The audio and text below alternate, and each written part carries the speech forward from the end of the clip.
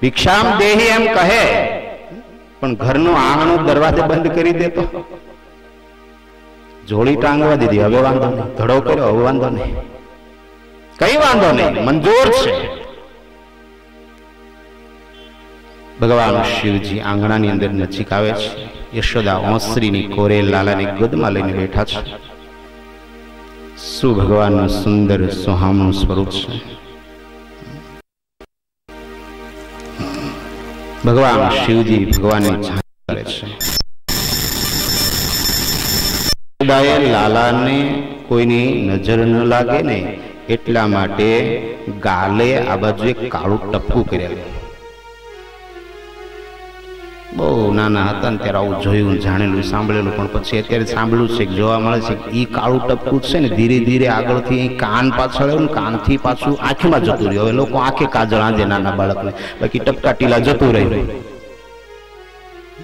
એક કપાળે કાળું ટપકું કરવા પાછળની યશોદાની ભાવના એવી હતી કે કોઈ જાડી નજર ના હોય, કોઈ ભારે નજર ના હોય, તો બાળકને નજર ન લાગી જાય.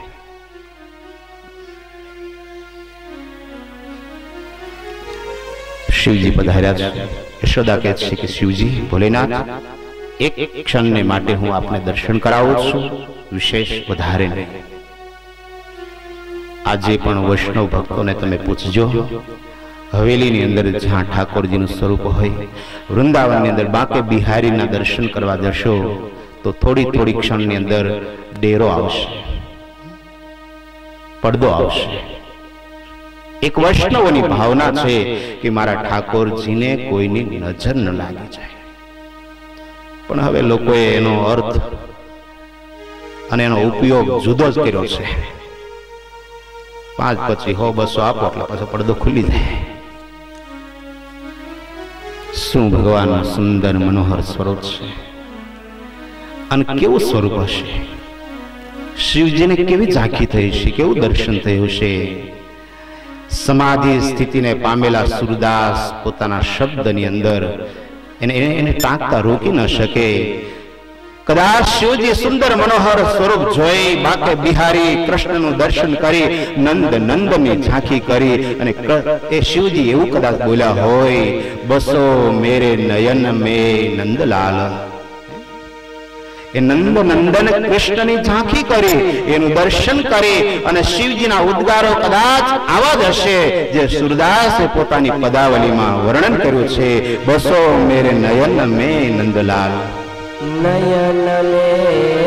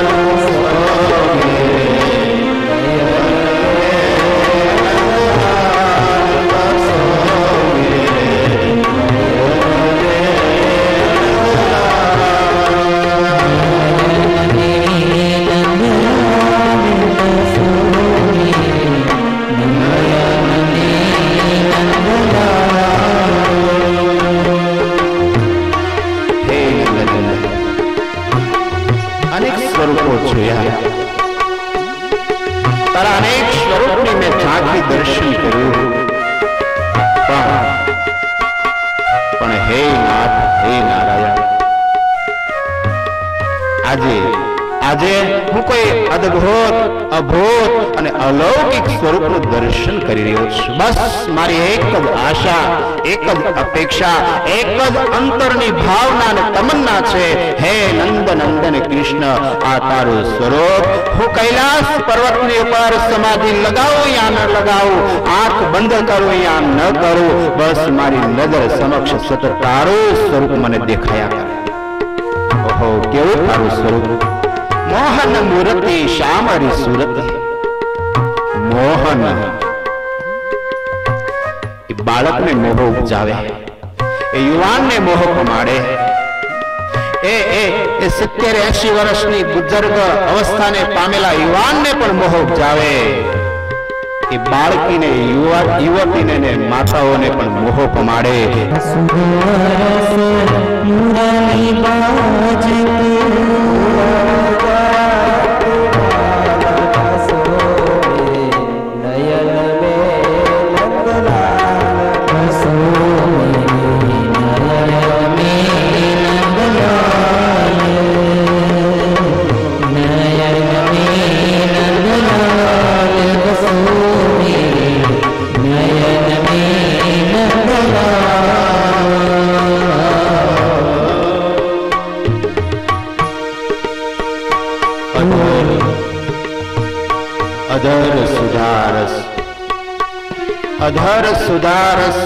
મુરલી બાજત ઉર વૈજયંતી માલ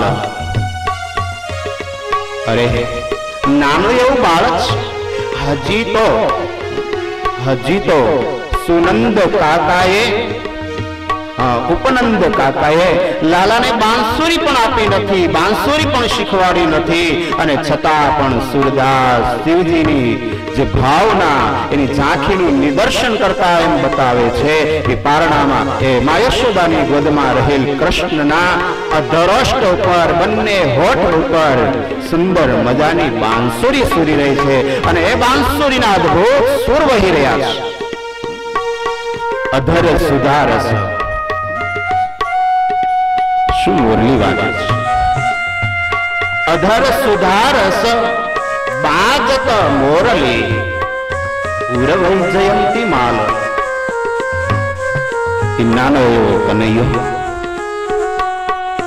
એ જ નાના એવા કનૈયાની અંદર શિવજીને ભગવાન ત્રિભંગી સ્વરૂપ કૃષ્ણનું દર્શન થાય પગની આંટી મારે અને કૃષ્ણ ઊભા અને હાથમાં આમ બાંસુરી રાખી અંતરના ઉમળકાના સુરથી કૃષ્ણ બાંસુરી બજાવે છે. કેવું સ્વરૂપ હશે? કેવી બાંસુરી બજતી હશે?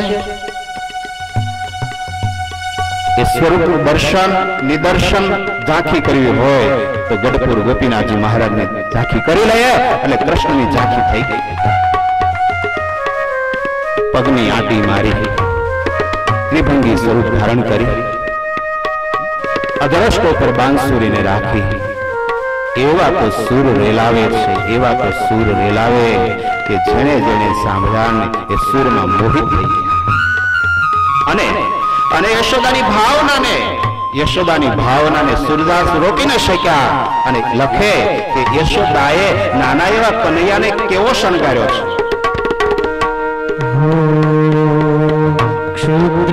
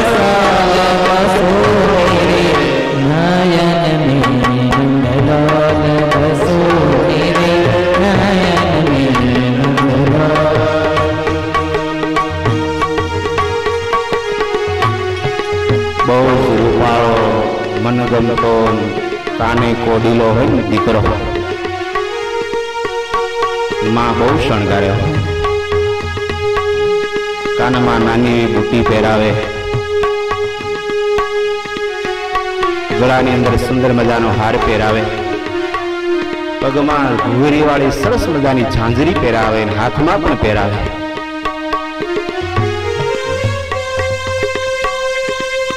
આજે યશોદાએ લાલાને આવો શણગાર્યો છે. નુપુર છે. હાથમાં રંગબેરંગી નંગ વાળા કડા પહેરાવ્યા છે. અને નિયમનું શું મહત્વ હોય છે? જીવનની અંદર નિયમનું શું મહત્વ હોય છે?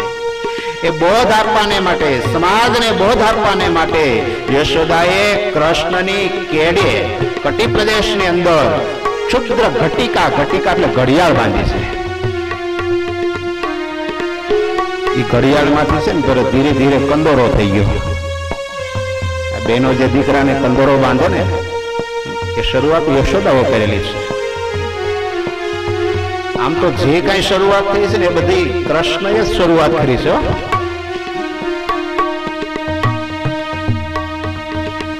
ક્ષુદ્ર ઘટિકા કટી તટ પ્રદેશ.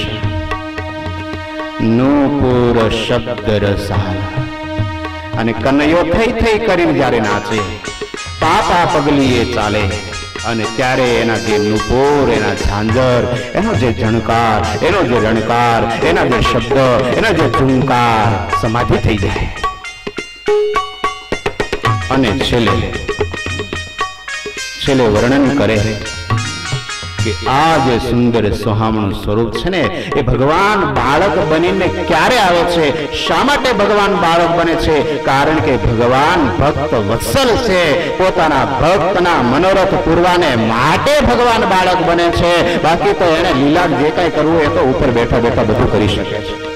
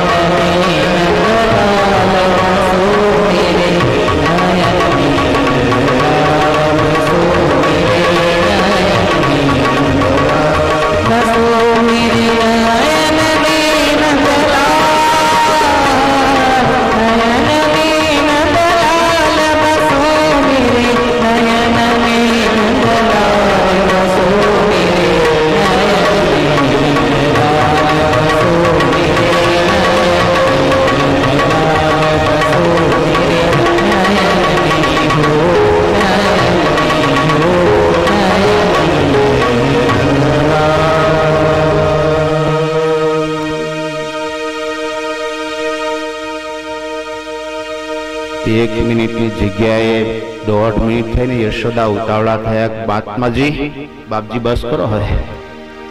શરત ભંગ થાય છે. એક ક્ષણનો જ નિયમ હતો. એક ક્ષણની શરત હતી. સમય માથે જતો રહ્યો છે. ભગવાન શિવજીને થયું કે હવે કંઈક ચરિત્ર કરીએ. યશોદા, તું બહુ ભાગશાળી છો, બહુ ભાગશાળી. આ જગતની જેટલીઓ, જેટલી સ્ત્રીઓ છે, માતાઓ છે ને, એ તમામ માતાઓમાં ભાગ્યશાળી જો કોઈ હોય, તો તું છે. પણ કેમ બાપજી? તને ખબર છે? આ તારું જે બાળક છે, આ તારો લાલો છે, એ કોઈ સામાન્ય નથી. શું વાત કરો બાપજી? હા, તમને કેમ ખબર પડી? અરે, એની હાથની રેખાઓ બતાવે છે. અરે બાપજી, તમને જ્યોતિષ આવડે કેમ નહીં? હવે લાઈન પકડાઈ ગઈ. બહેનોને આટલું જ જોઈએ.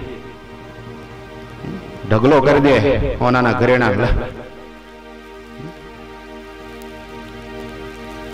અમે જ્યોતિષી આવ્યું જ્યોતિષી. જેમ કે ને એમ બેનો કરે. નાડ પકડાઈ ગઈ. તમને જ્યોતિષ જોતા આવડે છે? કેમ નહીં? બીજા જ્યોતિષીને તો એકાદ કાળનું આવડતું હશે, પણ મને ભૂતકાળ વર્તમાન કાળ અને ભવિષ્યકાળ. આ તારો લાલો? પેલા કોણ હતો? અત્યારે કોણ છે? અને ભવિષ્યમાં કોણ હશે એની મને ખબર છે. જો જોતા આવડવું હો. નહીતર ક્યારેક મરણનું પરણ ને પરણનું મરણ થઈ જાય. આવશે આગળ પ્રસંગ. જ્યારથી આપણી આધ્યાત્મિક બાબતોમાં, ધાર્મિક બાબતોમાં વિધિ જે બતાવવામાં આવ્યો છે, એ ગૌણ થયો અને વ્યવહારિક વિધિને પ્રધાનપણું આપવામાં આવ્યું, ત્યારથી એનું ફળ જે મળવું જોઈએ બંધ થયું. જ્યોતિષ શાસ્ત્ર ખોટું નથી.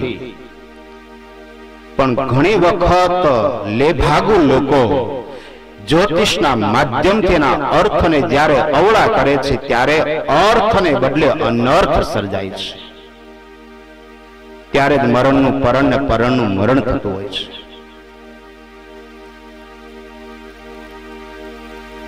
જ્યોતિષનો ધંધો આમ સારો છે. દુનિયા અત્યારે જો ને બહુ વળી છે તરફ પણ ધંધો આવડે એને જ આવડે. જેનો જે ધંધો, આમ નિયમ એવો છે. તમારો ધંધો અમે કરવા જઈએ તો અમને હવાજ ના આવે. અને અમારો ધંધો તમે કરવા આવો, તમને હવાજ ના આવે. ઘણા બધા ચોર ભેગા થયા.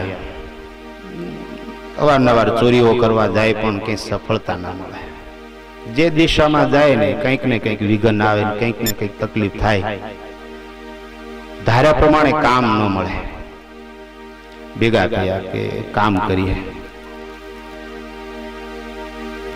બાજુના ગામમાં એક બહુ સરસ જ્યોતિષી છે ને બહુ સારું જ્યોતિષ જાણે છે. એક વખત જે મુહૂર્ત આપે એટલે પછી તમારે જોવા પણ નહીં આપણે એમની પાસે જ્યોતિષ જોવડાવીને પછી ચોરી કરવા જઈએ. ચોરાયો ચોર આવ્યો. બાપજી જ્યોતિષ જોવું છે. આવો બેસો, કઈ વાંધો કઈ બાબત? જો મારો ધંધો છે ને ચોરી કરવાનો છે. વર્ષોથી મારો આ ધંધો છે, પણ જોઈએ એવી સફળતા મળતી નથી. આપ કંઈક એવું જો જ્યોતિ આપો, જોઈ આપો કે જ્યોતિષ જોઈ આપો, તો મારા કામમાં મને સફળતા મળે. પેલા મહાત્માને, જ્યોતિષીને એમ થયું કે લાવ ને ખડીયો કાઢ્યો એમાંથી ટીપણું કાઢ્યું ટીપણામાં જોઈને કે છે જો ભાઈ આવતા અંધારિયાના અમાવાસ્યાને દિવસે રાત્રિના બે વાગે બહુ સારું મુહૂર્ત છે ને એ સમયમાં જે માણસ કામ કરે એને સો ટકા સફળતા મળે. જા. પેલો તો આવ્યો.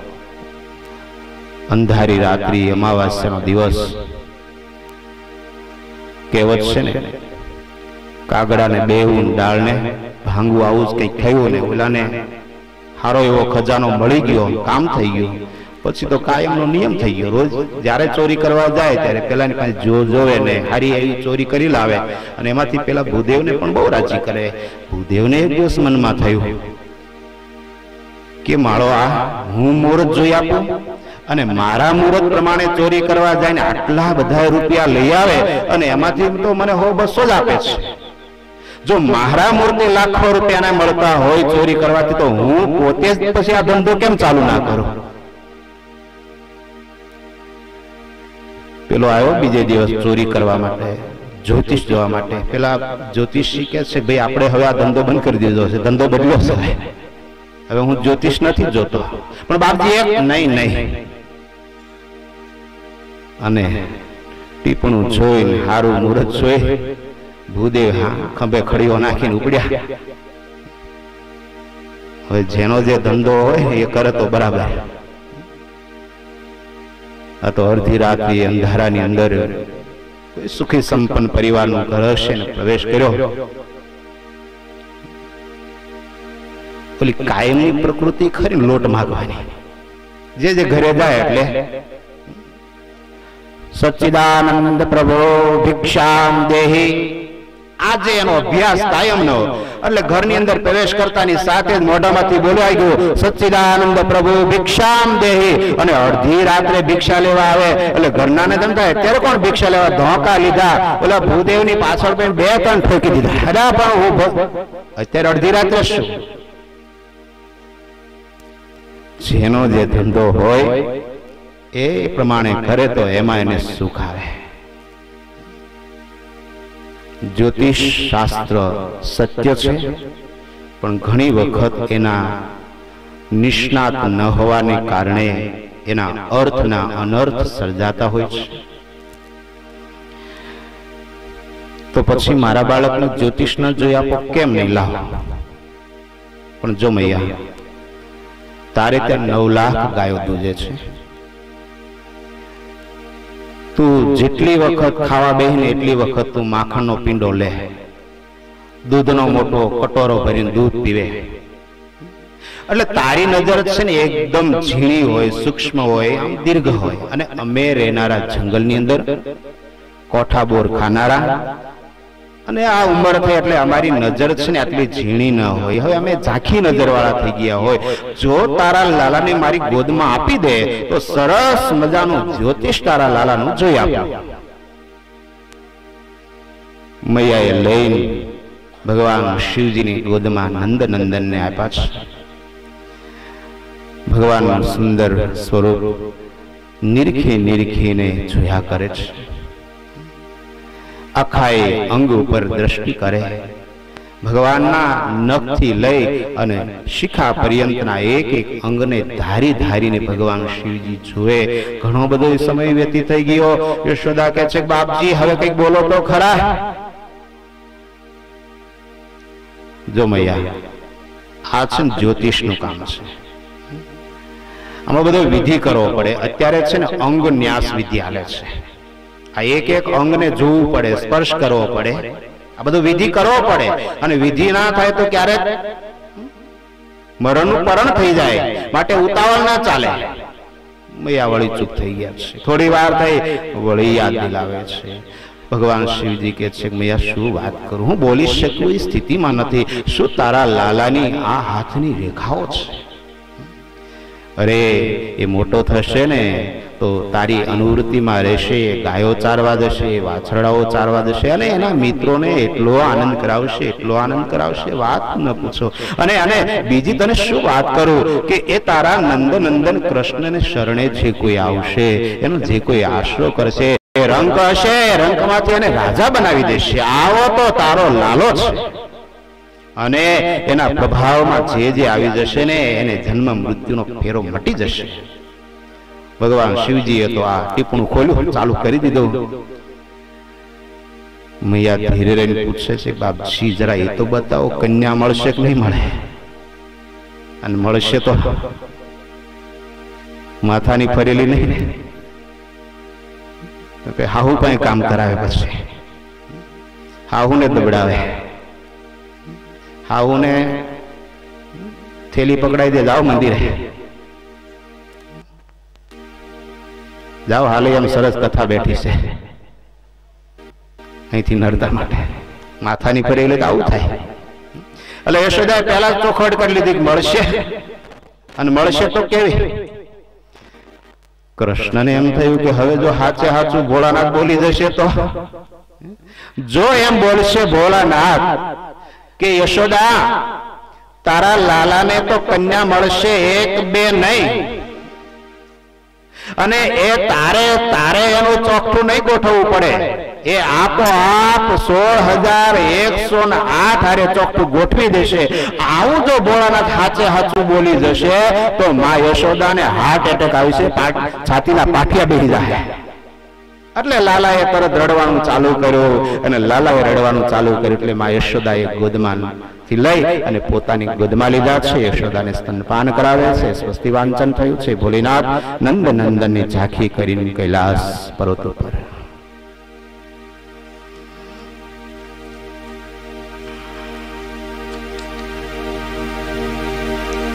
આ બાજુ દર વર્ષે નંદ મહારાજ મથુરાની અંદર રાજનો કર આપવાને માટે આવે. નિયમાનુસાર જે કર થતો હોય, એના કરતા નંદજી ડબલ કર લાવ્યા છે. રાજા કંસની આગળ એક કર આપવામાં આવે છે. રાજનો દર વખતનો જે કર હોય, એના કરતા દુગુણો એને કે ડબલ જોયો. એટલે કંસે સહજ પૂછ્યું કે નંદજી, દર વર્ષે તમે જે રાજનો કર આપો છો, એના કરતા આ વખતે ડબલ કેમ લાવ્યા મહારાજ, મારા જીવનનો એક આનંદનો પ્રસંગ આપને કહું. મારી આટલી મોટી ઉંમર થઈ, પણ મારે ત્યાં પારણું ન બંધાતું હતું. ભગવત કૃપા, તમે જેવા મોટા પુરુષનો અનુગ્રહ અમી દ્રષ્ટિ અને મોટી ઉંમરે મારે ત્યાં લાલાનો જન્મ થયો છે અને મારા લાલાના જન્મના હર્ષમાં, આનંદમાં, એની ખુશાલીમાં રાજનો હું ડબલ કરાપ આવ્યો છું હા. મહારાજ એ મારા બાળકને આપ આશીર્વાદ આપો. એને એવા આશીર્વાદ આપો કે મોટો થાય અને એ અમારી કુખને ઉજળું કરે. અને કંસ બોલે છે નંદજી માવ તમારા લાલાને આશીર્વાદ છે મારા. એ મોટો થઈ અને એના જેટલા શત્રુઓ હશે ને એક એકને વીણી વીણીને મારી નાખશે, મૂર્ખને ખબર નથી પહેલા નંબરમાં હું છું. પેલા તો મારી બોચી પકડશે.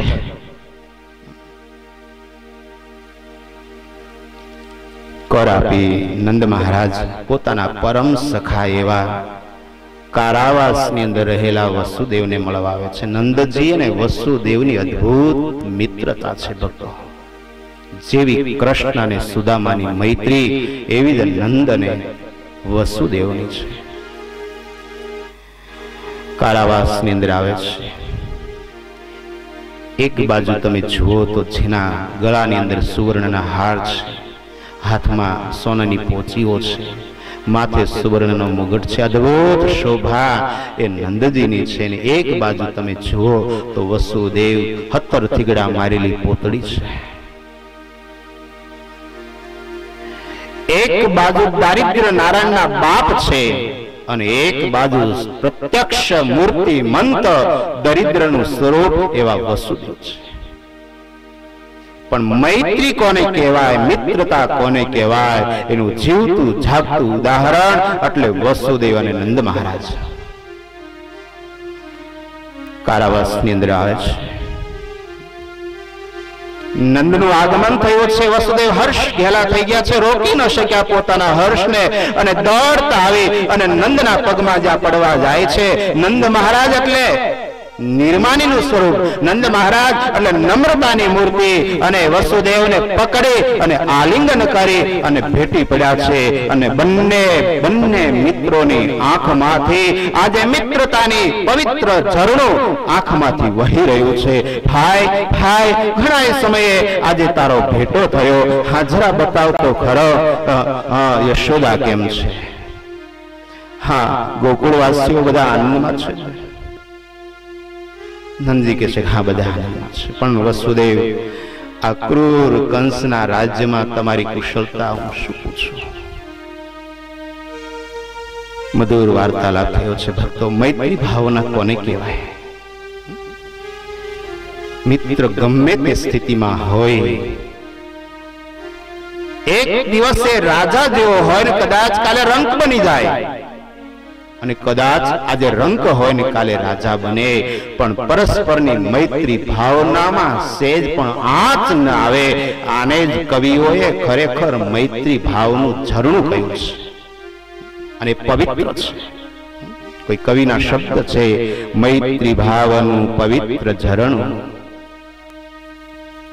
મૈત્રી ભાવનું પવિત્ર ભયા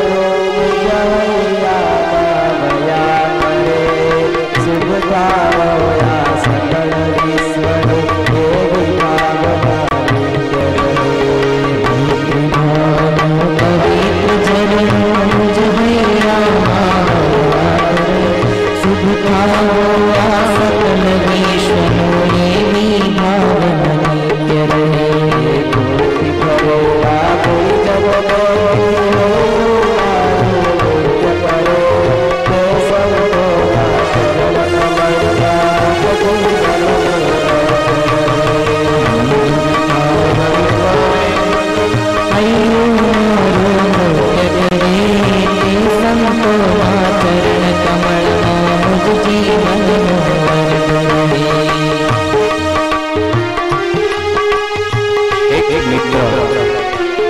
બીજા મિત્રની મૈત્રી ભાવનાને બતાવતા એમ કહે છે. આજે મારી મૈત્રી ભાવનાનું પવિત્ર ઝરણું છે. હર હંમેશને માટે મારા હૃદયમાં વહ્યા કરે. અમારા બંને મિત્રતાની જે પરસ્પરની ભાવના છે, આ પરસ્પરની મૈત્રીતા ભાવના રૂપી ઝરણું હંમેશને માટે નિર્મળ રહે, હંમેશને માટે નિર્મળ રહે. એમાં ક્યારે પણ કોઈ જાતની આંચ ન આવે. અદ્ભુત કવિના શબ્દ છે. આવી જ કઈ મૈત્રી, મિત્રતા, નંદ અને વસુદેવમાં હતી બંનેનું પરસ્પર અદ્ભુત મિલન થયું છે. આ બાજુ કંસના કહેવાથી આવેલ પૂતના. તાજા નાના નિર્દોષ બાળકોને પકડીને મારે છે. ગોકુળની અંદર આવ્યા છે. વસુદેવના મનની અંદર કંઈક અપશુકન થતા હોય એવો ભાવ થયો. આંખ એની ફરફરવા લાગી છે. એમ લાગ્યું કંઈક અઘટિત ઘટના ઘટવી જોઈએ. નંદજીને કહેવામાં આવ્યું છે કે આપ જલ્દી ગોકુળની અંદર જાઓ. મને લાગે છે કે ગોકુળમાં કંઈક ઉત્પાત થઈ રહ્યો છે. આ બાજુ પેલી પૂતના અનેક બાળકોનો વધ કરતી કરતી યશોદાના આંગણા તરફ આવે છે. એવું એનું સુંદર સુહામણું રૂપ છે. જાણે સાક્ષાત લક્ષ્મી ન હોય એવી રૂપ લાવણ્યતા હોવાને કારણે ગોકુળની અંદર નંદને આંગણે જતા એ પૂતનાને કોઈ રોકી નથી શક્યો બસ તમામના ભાવ એવા છે, હૃદયની અંદર એક ભાવના છે કે જ્યારથી કનૈયો આ ગોકુળની અંદર આવ્યો ને ત્યારથી આવા કેટલાય મોટા દેવો આવા રૂપો લઈ અને કનૈયાની ઝાંખી કરવા આવે છે. લાગે છે કે સાક્ષાત લક્ષ્મીજી પણ કનૈયાની ઝાંખી કરવા આવ્યા છે આવો લક્ષ્મીજીની સમાન રૂપ જોઈ અને સારાએ વ્રજવાસી યાને કે ગોકુળવાસીઓ નંદને આંગણે જતા પૂતનાને રોકી શક્યા નથી. બરાબર, કૃષ્ણની છઠ્ઠીનો દિવસ છે. છઠ્ઠીના દિવસે પૂતનાનું ગોકુળની અંદર આગમન થયું છે. ભક્તો, આપણે ત્યાં મુખ્ય ત્રણ શાસ્ત્રો કહેવાય. રામાયણ, શ્રીમદ ભાગવત અને શ્રીમદ સત્સંગી જીવન. આ ત્રણેય શાસ્ત્રના સારને જો જોઈએ, તો જ્યારે કૃષ્ણનું પ્રાગટ્ય થયું છે, ત્યારે એના છઠ્ઠીના દિવસે ગોકુળની અંદર પૂતના આવી છે. અમારું સત્સંગી જીવન એમ બોલે, બાળ પ્રભુ ઘનશ્યામનો ધર્મ ભક્તિ થકી પ્રાગટ્ય થયું છે, ત્યારે બરાબર છઠ્ઠીના દિવસે છપૈયાની અંદર કોટરા નામની રાક્ષસીણી આવે છે. અને રામાયણ એમ બોલે કે ભગવાન શ્રી રામ જ્યારે આ પૃથ્વી પર અવતરિત થયા છે ત્યારે જન્મ પછી ભગવાન ગુરુ વિશ્વામિત્રના યજ્ઞના રક્ષણને માટે જાય.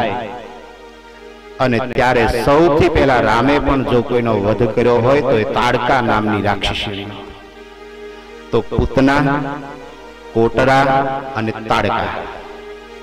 આ ત્રણેય સ્ત્રી રૂપ છે. અને એ ત્રણેય એટલે અવિદ્યાનું સ્વરૂપ છે ત્રણેય માયાનું સ્વરૂપ છે અજ્ઞાનનું સ્વરૂપ છે અને ભગવાન જ્યારે આવે ત્યારે સૌથી પહેલા ભગવાન છે ને અવિદ્યા અજ્ઞાન માયાનો નાશ કરે છે. લાલાએ કોઈ પૂતનાનો વધ નથી કર્યો. બાળપ્રભુ ઘનશ્યામે કોઈ કોટરાનો વધ નથી કર્યો. રામે કોઈ તાડકા નામની સ્ત્રીનો વધ નથી કર્યો એણે તો એની માયાનો વધ કર્યો છે મીન્સ અજ્ઞાન અવિદ્યાનો નાશ કર્યો છે.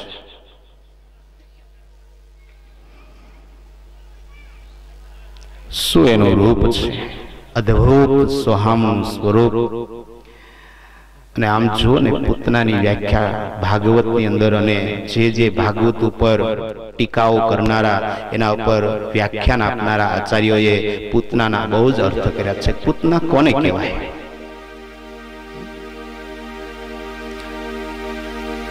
બાહ્ય દ્રષ્ટિ જેની સુંદર.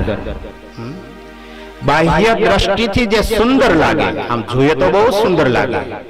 પણ જેની જેની આંતરિક દ્રષ્ટિ, યાને કે જેના મનની અંદર પાપ છે, આનું નામ પૂતના. યાદ રાખજો, પૂતના કોને કહેવાય? બહારથી બહુ સુંદર લાગે, પણ મનની અંદર પાપ, આનું નામ પૂતના. જેની આકૃતિ સુંદર, પણ જેની કૃતિ, જેનું કર્મ, જેની ક્રિયા, જેનું કાર્ય બહુ ખરાબ, આનું નામ પૂતના. વાણી બહુ સુંદર. વાણીની મીઠાશ, વાણીની માધુર્યતા, જેની વાણી સુંદર પણ જેનું વર્તન ખરાબ, આનું નામ પૂતના બાહ્ય પરિવેશ બહુ સુંદર. સરસ મજાની સાડી પહેરી હોય, બહુ સરસ મજાના આભૂષણો, વસ્ત્ર ધારણ કર્યા હોય. બાહ્ય વેશ જેનો સુંદર. પણ જેના હૃદયની અંદર વેર વૃત્તિ આનું નામ પૂતના. એ વખતે તો એક જ હતી, પણ અત્યારે તો હજારોની સંખ્યામાં છે. અને આ કઈ કોઈ પૂતના હોય ને પૂતનો ના હોય એવું નહીં, પૂતનાય ગણાય છે. પૂતનાય છે ને પૂતનોય છે. બહારથી બહુ સુંદર લાગે, બહુ સુંદર લાગે. મીઠું મીઠું સરસ બોલે, પણ અંદર વેરભાવ હોય. બાહ્ય દેખાવ સુંદર હોય, પણ મનમાં પાપ હોય. આવી જ પૂતના બંને સ્તન ઉપર કાળકૂટ નામનું કાતિલ ઝેર લગાવીને કૃષ્ણ વધને માટે આવે છે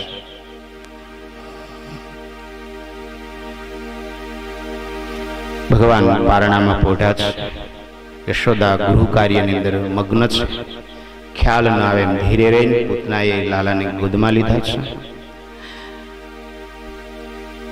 એવું કહેવાય છે કે જ્યારે પૂતના આવી અને ભગવાનને લેવાને માટે જાય છે ને પૂતનાને જોઈને જોતાની સાથે આમ નજરે નથી કરીને ભગવાને આંખો બંધ કરી દીધી. ભાગવતમાં બહુ જ ચર્ચા અહીંયા થઈ છે કે ભગવાને કેમ આંખો બંધ કરી? ભગવાન ઊંઘમાં ન હતા, જાગતા હતા. જાગતા એવા કૃષ્ણ પૂતના આવે અને આંખો કેમ બંધ કરે? બહુ જ સમાધાનો આપ્યા છે. બહુ જ આના ઉપર શાસ્ત્રાર્થ થયો છે કે કૃષ્ણે પૂતનાને જોયા પહેલા એની આંખો બંધ કરી દીધી. એનું પહેલું કારણ બતાવવામાં આવ્યું છે કે પ્રીતિર નયન યોગત. હંમેશા પ્રેમ, પરસ્પરનો સ્નેહ, હેત, એ ક્યારે થાય છે? બંનેની આંખનું મિલન થાય ત્યારે. કોઈ યુવાન, યુવતી જ્યારે સ્નેહ પાસથી બંધાય છે ત્યારે પરસ્પરની દ્રષ્ટિનું મિલન થાય ત્યારે એમાંથી સ્નેહ ઉત્પન્ન થાય છે. ભક્ત અને ભગવાન એનું પરસ્પરનું જ્યારે દ્રષ્ટિ મિલન થાય છે ત્યારે જ એમાંથી આત્મીય ભાવનું સર્જન થાય છે ભક્તો. તો પ્રીતિ ઉત્પન્ન થવાનું કારણ પ્રેમની ઉત્પત્તિનું કારણ નયન યોગત બંનેની આંખનું મિલન એ પ્રીતિને જન્મ આપે છે. અને એટલે તમે સર્વે કરજો. કોઈ પણ વ્યક્તિ પરિચિત હોય કે અજાણ વ્યક્તિ હોય સૌથી પહેલી તમારી દ્રષ્ટિ એના એની દ્રષ્ટિ ઉપર પડશે.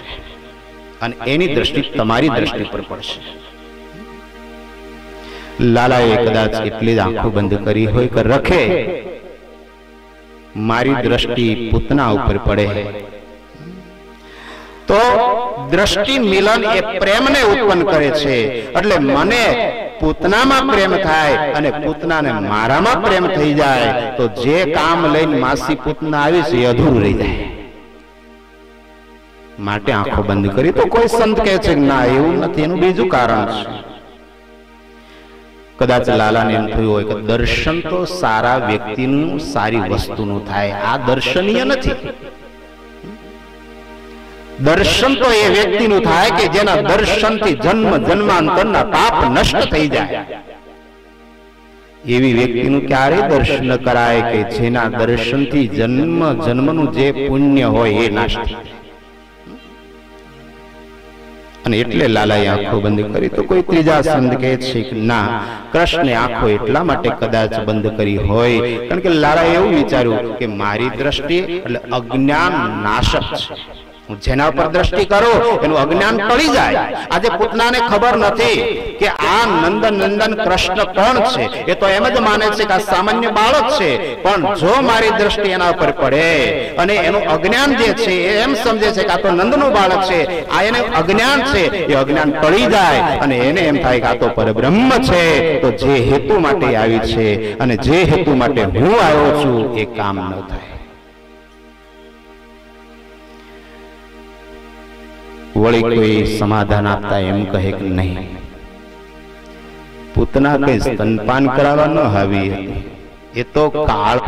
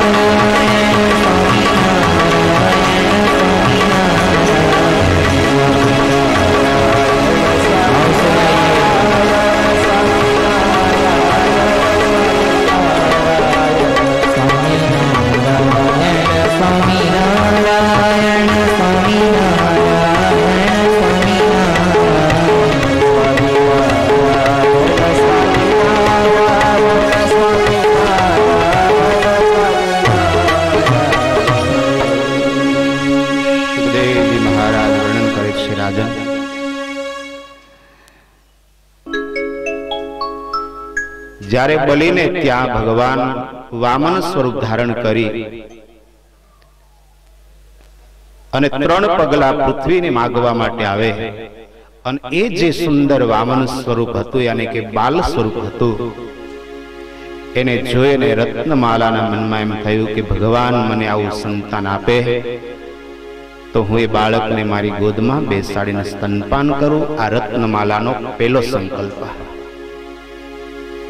પણ ભગવાન જ્યારે વામનમાંથી વિરાટ બને અને વિરાટ સ્વરૂપ ધારણ કરીને બલીને છેતરીને ભગવાને ત્રણ પગલા પૃથ્વીમાં સર્વસ્વ જ્યારે માગી લીધું છે, ત્યારે રત્નમાલાને ભગવાન પ્રત્યે શત્રુભાવ થયો.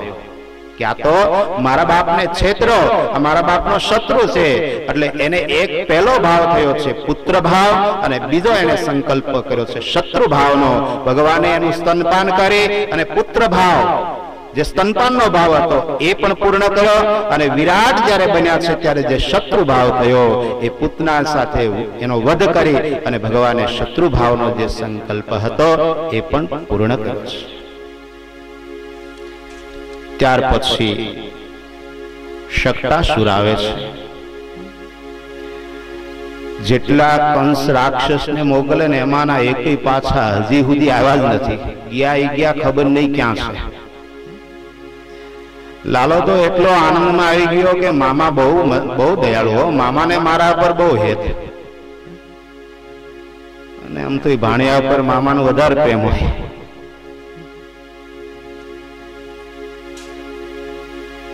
પણ આ આ મામો કંસ હતો. મામાને મારા પર બહુ હેતો મારો જ્યારથી જન્મ થયો ત્યારથી મામા મારા માટે નવા નવા રંગબેરંગી સુંદર રમકડા મોકલ્યા જ કરે છે. સૌથી પહેલા ઢીંગલી મોકલી.